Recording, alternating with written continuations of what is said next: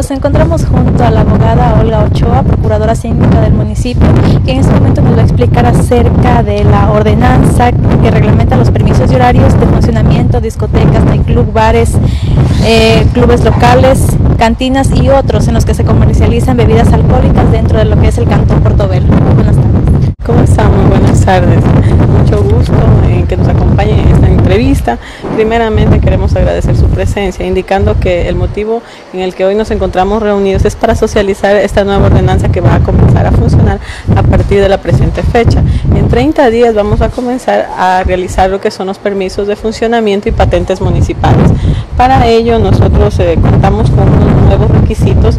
Eh, básicamente esta ordenanza trata sobre los nuevos requisitos para que puedan funcionar este tipo de locales. Lo que hablamos de nightclubs, locales de concentración masiva de personas, sodabares, karaokes, eh, cantinas, en, bares, eh, donde se expendan bebidas alcohólicas. Los requisitos son normas que se están aplicando a nivel nacional basados en las normas CINEN sobre infraestructura para que pueda existir una mayor seguridad para aquellas personas que ingresen a consumir bebidas alcohólicas en estos lugares.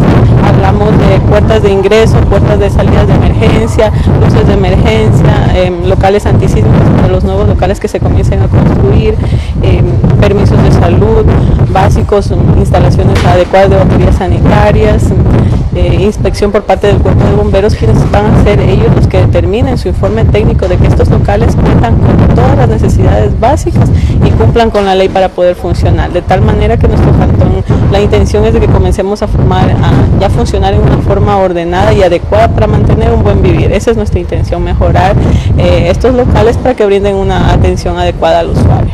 Muy amable. Nos hablaba también que en días anteriores había hecho una reunión con las autoridades sobre un tema muy específico.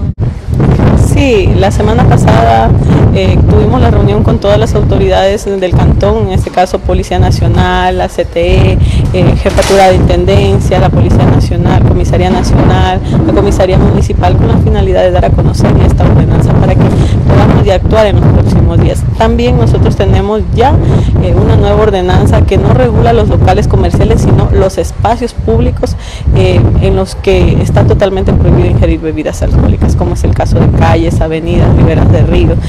Tenemos incluidas mm, eh, espacios que dentro del cantón no se puede ingerir bebidas alcohólicas, ni, ni ingerir, ni, ni distribuir, ni expender bebidas en la vía pública.